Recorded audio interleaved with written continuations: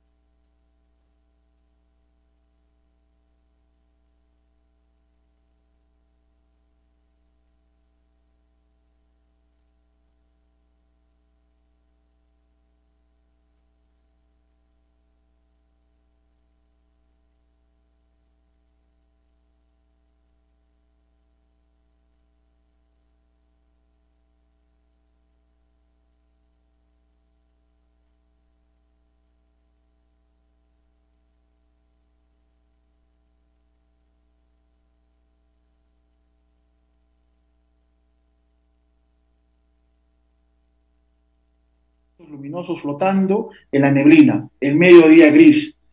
¿En qué momento se había jodido el Perú? Los canillitas merodean entre dos vehículos detenidos por el semáforo de Wilson, voceando los diarios de la tarde y él echa a andar, despacio hacia la colmena. Las manos en los bolsillos, cabizbajo, va escoltado por transeúntes que avanzan también hacia la Plaza San Martín. Él era como el Perú, tabalita, se había jodido en algún momento. Piensa, ¿en cuál? Frente al Hotel Trillón, un perro viene a lamerle los pies. No vayas a estar rabioso, se pregunta. Fuera de aquí. El Perú jodido, piensa. Carlitos jodido. Todos jodidos, piensa. ¿No habrá una solución? Ve una larga cola en el paradero de los colectivos a Miraflores. Cruza la plaza y ahí está Norwin. Hola hermano, en una mesa del Barcela. Siéntate, Zabalita, más o menos tocando un chicano y haciéndose lustrar los zapatos. Le invita un trago. No parece a un borracho todavía, y Santiago se sienta. Indica al lustrabotas que también le lustre los zapatos a él. Listo, jefe. Ahorita, jefe. Y se los dejaría como espejos, jefe. Esta es la parte en la cual hace más de 50 años Vargas Llosa se pregunta en qué momento se había jodido el Perú. Y justamente en este mes patrio, a un año de llegar al Bicentenario Nacional, los hoy día reunidos, historiadores y abogados, nos hacemos la misma pregunta tratando de resolverla. Sin duda alguna, esta pregunta en qué momento se jodió el Perú no solo acabó en el campo literario, llegó a la historia, llegó a la política, llegó al derecho, llegó a las ciencias sociales en general, y por ello resulta interesante leer algunas tentativas de respuesta. Jeremías Gamboa, que es escritor, dice, la brillantez de esta pregunta es que no tiene una respuesta, o tiene una respuesta demasiado quemante. El Perú se jodió al mismo tiempo de nacer. Su concepción tuvo una base, un hecho asimétrico y brutal que fundó una nación herida, una nación en conflicto. Ahora bien, como cada uno siente que el país nació, cuando uno nació, puedo decirte que mi Perú se empezó a joder con Alan García, con la aparición de Abimael Guzmán, y se terminó de joder con el autogolpe de Alberto Fujimori el 5 de abril de 1992. Aún no nos hemos recuperado. Por su lado, Natalia Igunis, que es una artista visual y seguro su respuesta le va parecer interesante a Serly Figueroa, dice, una terca esperanza me hace pensar que no está jodido el Perú, pero definitivamente las mujeres sí estamos más jodidas. Un periodo clave, la colonia, que institucionalizó el patriarcado y que en su alianza con el capitalismo convirtieron el trabajo doméstico en una extensión del amor, asociado a naturalizar el rol de las mujeres en las tareas de cuidado y lo volvieron gratuito o muy mal pagado, sosteniendo así gran parte de nuestra vida sin mayor valoración y castigando a quienes se salen del rol con discriminación y mucha violencia, algo que hasta el día de hoy se sigue observando. Y para acabar, Guillermo Niño de Guzmán, que también es un escritor, dice, el Perú siempre estuvo jodido, pero no se jodió solo, lo jodimos nosotros. Que se jodan es una expresión habitual que nos pinta de cuerpo entero. Somos un país a medias, acomplejado y sin identidad, donde a nadie le importa demasiado lo que le ocurra a nadie.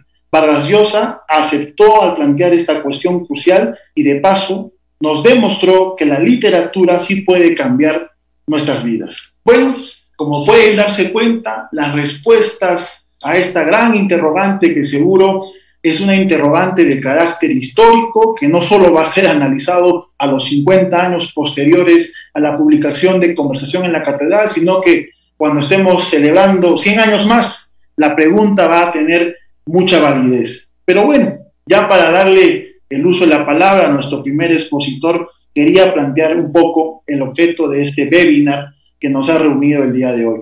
Basale dice, no solo somos un problema desde el pasado hacia el futuro, también somos una posibilidad.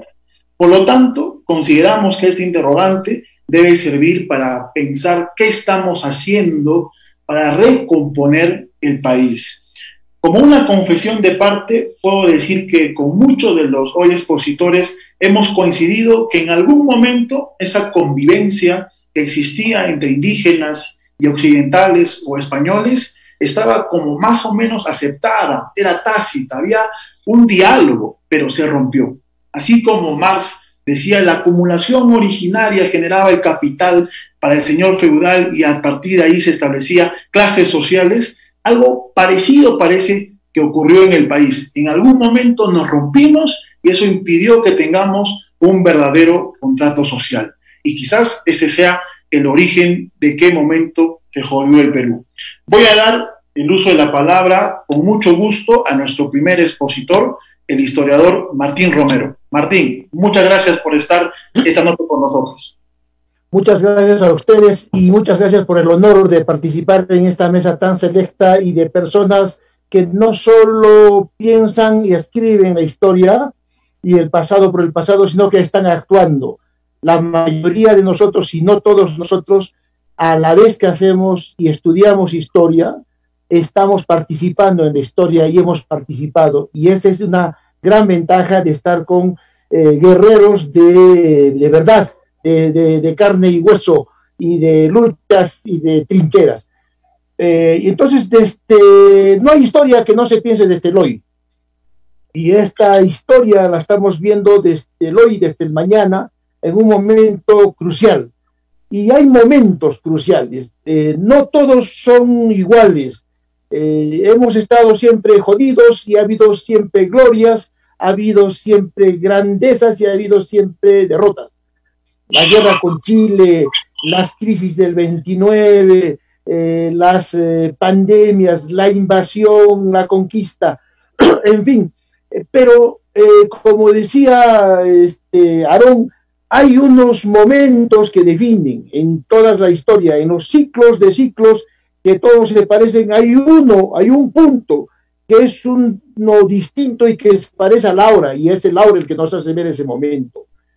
Nunca como antes, y hablábamos con Serli esto, eh, tan infame ha sido la eh, opresión y la exclusión al ser humano, tanto se ha degradado la biomasa y las condiciones humanas en estrés, aceleramiento histórico, explotación y esclavismo moderno, que se ha tenido que crear las condiciones para un virus. Los virus no aparecen así nomás, los virus aparecen junto con procesos que a la vez son biológicos y de la biomasa, más crisis eh, estructurales sociales. La crisis de la última, eh, de, la, gripe española, justo en un contexto de caída de un mundo y, entrada de otro nuevo. La crisis del 14, ¿no es cierto? La, peste negra, caída de la, del feudalismo y tránsito. Entonces, no es casual las crisis. Y, yo quería referirme a un momento en que se jodió el Perú, contestando la pregunta de Zabalita.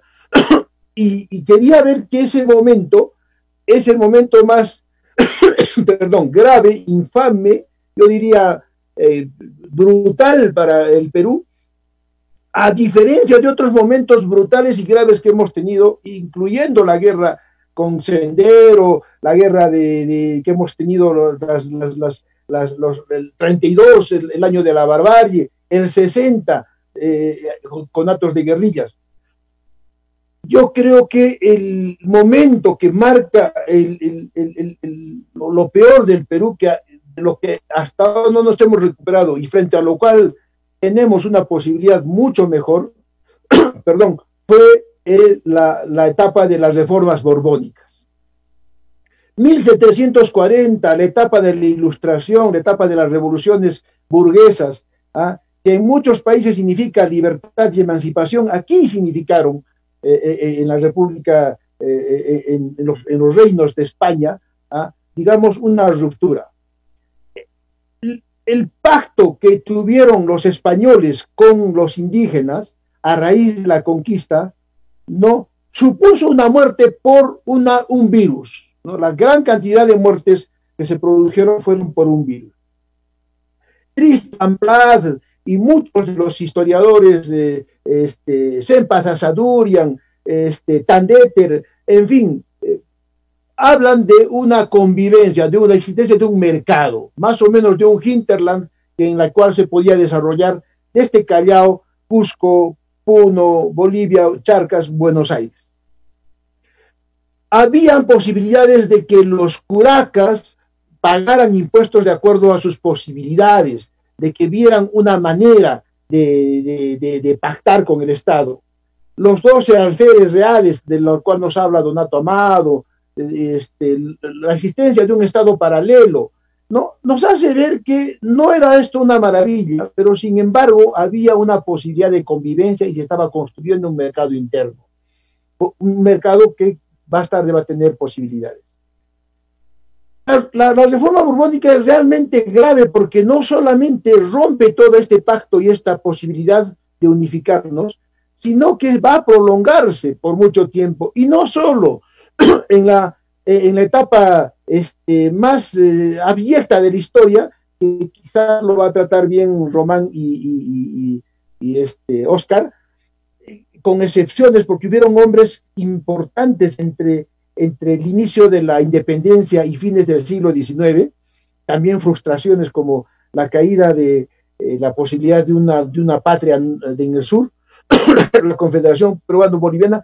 sino que los rasgos, los restos y las consecuencias graves de esta continuidad borbónica eh, en los criollos se va a ver también en el siglo XX y muy avanzado el surgimiento de Sendero Luminoso y más tarde las guerrillas, que va a dar resultado al Fujimorismo, porque las dos cosas arrastran una, una cosa y otra, la falta de reformas, va a denotar cómo esta permanencia, esta continuidad borbónica, ¿no? Este, va a, a, destruir todo lo mejor de los, del tejido y las posibilidades de una negociación.